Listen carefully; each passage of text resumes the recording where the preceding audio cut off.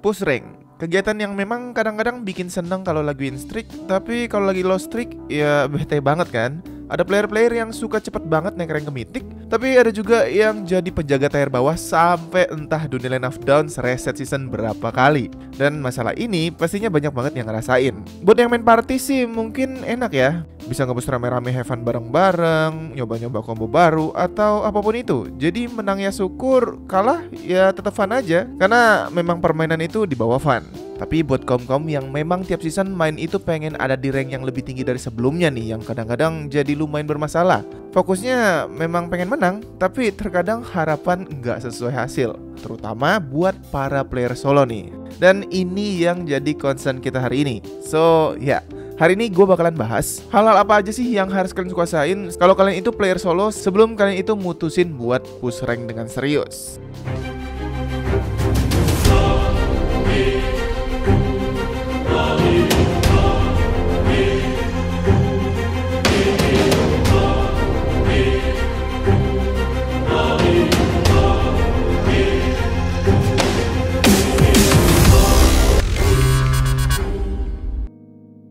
Karena kita lagi ngomongin solo player, kondisi kalian itu bakalan dijamin 100% menang tentunya nggak mungkin lah ya.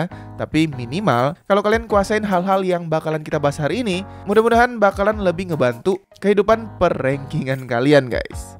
Yang pertama, buat para player solo, kalian itu harus nguasain dua posisi paling gak laku dalam susunan tim. Yang pertama, roamer. Buat roamer tentunya alasannya jelas, karena roamer itu biasa diisi sama tanker dan kayak yang udah kalian tahu, posisi ini tuh kayak posisi sisaan gitu. Buat sebagian orang hero-heronya nggak terlalu seru, terus permainannya nggak akan dihiasin banyak ngekill karena kill itu bagian jatah jungler.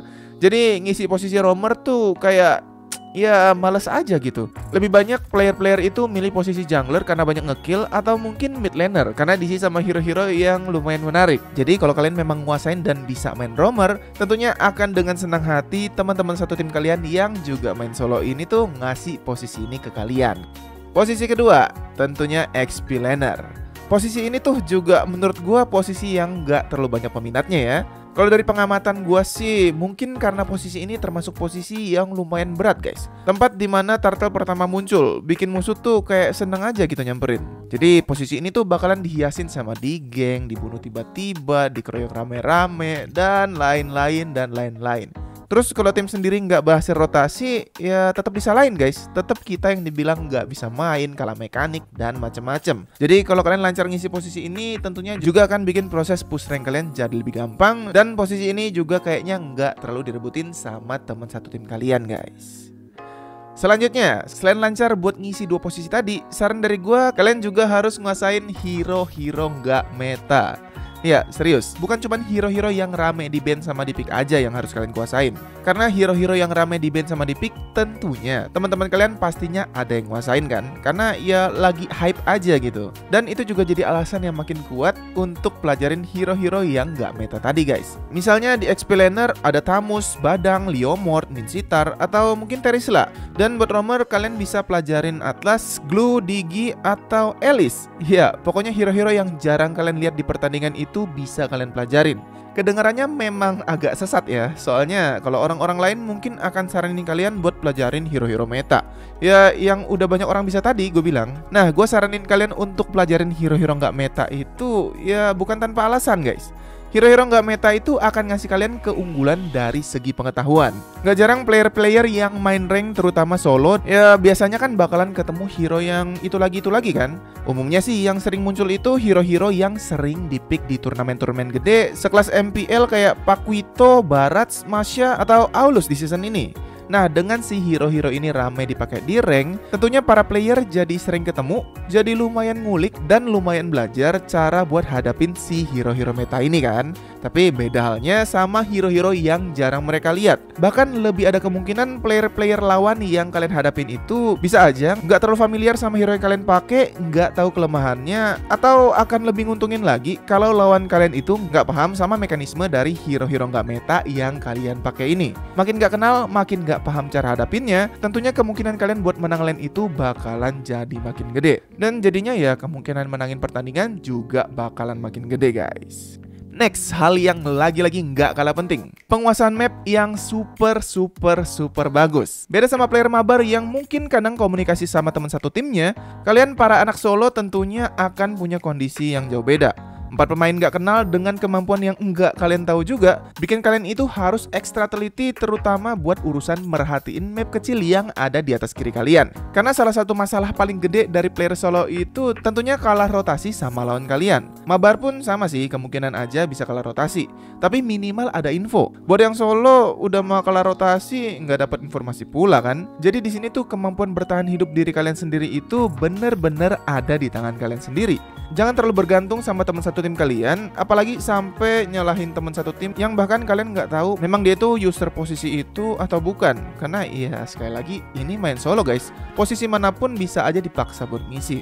So ya sekali lagi, andelin diri sendiri untuk urusan posisi kalian dan musuh kalian guys. Yang selanjutnya, pool hero harus luas. Buat anak-anak yang main solo, kita itu nggak akan tahu posisi yang dalam tanda kutip sisa itu posisinya apa. Jadi tentunya biar kita itu bisa menangin pertandingan Sering banget udah gue mention Kalau kita itu harus biasain buat ngalah ngisi sisa yang dilepas sama publik-publik tercinta kan? Nah dengan kalian ngalah ngisi posisi sisa Gak nutup kemungkinan kalian itu harus ngisi posisi yang mungkin kadang-kadang gak kalian sangka-sangka. Jadi menurut gue anggapan kalau mau menang solo itu harus ngisi jungler atau marksman biar bisa gendong tim Memang anggapannya itu bener ya. Tapi kalian tentunya bakalan sering banget buat ketemu player-player yang justru gak mau ngalah sama kalian Mau kalian user assassin 1000 match ke 10.000 match ke atau berapapun itu, kalau mereka mau jungler, ya mereka pick jungler. So, ya mau nggak mau kalian harus bisa main hero-hero yang nggak diisi sama teman satu tim kalian.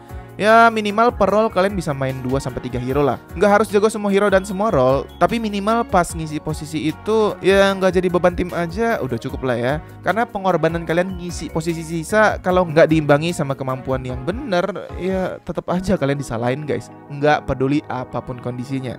Ya publik nggak pernah salah lah ya. Yang selanjutnya punya skin. Kedengarannya memang sepele, tapi bagian ini menurut gue jadi salah satu bagian yang cukup penting buat kalian-kalian yang mainnya solo. Kalau WR nggak nolong, biasanya publik-publik itu akan lebih percaya kalau kalian pakai hero-hero yang ada skinnya daripada yang polos nggak ada skin. Bisa dapat dari lucky spin atau kalau memang ada duit jajan lebih, ya skin yang agak mahal beneran tentunya bakalan bikin mental tim sendiri naik dan mental tim lawan bakalan kesenggol sebelum matchnya jalan cuy. Serius ya kayak pemikiran orang-orang soal Haya Oren pasti beban atau Chobo pasti GG aja. Semua itu udah ketanam di pikiran publik-publik di era sekarang. Jadi hal sepele ini tuh kadang-kadang bisa jadi sesuatu yang serius juga. Logikanya aja kan, kalau emang hero-nya nggak dimainin, nggak mungkin dong dimodalin skin, apalagi sampai skin mahal. Kalau udah pakai skin mahal, ya otomatis harusnya hatam berhatam nih mainin hero-nya. Jadi ya naikin PD kalian juga guys. Kalau nggak ada diamond buat beli, tentunya langsung gas ke Chess Diamond Store. Murah, aman, cepat, dan tentunya terpercaya karena ini Diamond Store gua. Ya kali nonton doang belanjanya di sebelah. Selanjutnya, kemampuan komunikasi yang baik. Lagi-lagi hal teknis yang selalu dianggap sepele tapi sebenarnya penting. Player solo ketemu empat orang gak dikenal, kemungkinan buat open mic pas main sendiri itu kayaknya kecil banget dong. Entah emang males, malu, lagi di luar atau apa pun, intinya komunikasi pakai suara itu udah kecil banget kemungkinannya. Metode komunikasi kedua kita tentunya pakai ngetik-ngetik gaming dong. Nah, masalahnya kalau lagi kondisi intens war gimana? Bisa keburu tewas dong kalau pakai cara ngetik-ngetik pas lagi war atau gebuk-gebukan? Nah, maka dari itu buat para pejuang solo, usahain untuk manfaatin bagian quick chat di sini dengan baik. Mungkin masih ada aja yang belum tahu atau gak peduli sama bagian ini. Tapi ini tuh bagian yang penting banget guys. Satu gerakan jari punya sejuta arti. Jadi usahain buat selalu isi part ini sama chat-chat yang penting buat in-game kalian nanti. Cara settingnya buat yang belum tahu itu ada di preparation, quick chat. Nah, di sini kalian bisa pilih-pilih komunikasi-komunikasi yang penting untuk kelangsungan hidup kalian. Mantap. Jadi itu aja sedikit tips dari gua soal apa aja yang harus kalian kuasain sebelum kalian para player solo itu mutusin buat jalanin karir push rank kalian. Kalau urusan skill, gua yakin lah penonton channel ini skillnya pasti udah mantep-mantep. Cuman ya tinggal nguasain pertandingan dengan baik aja. Jadi ya mudah-mudahan tips kali ini lumayan bermanfaat. So, karena pembahasan gue udah selesai, berarti sekarang waktunya gue harus pamit.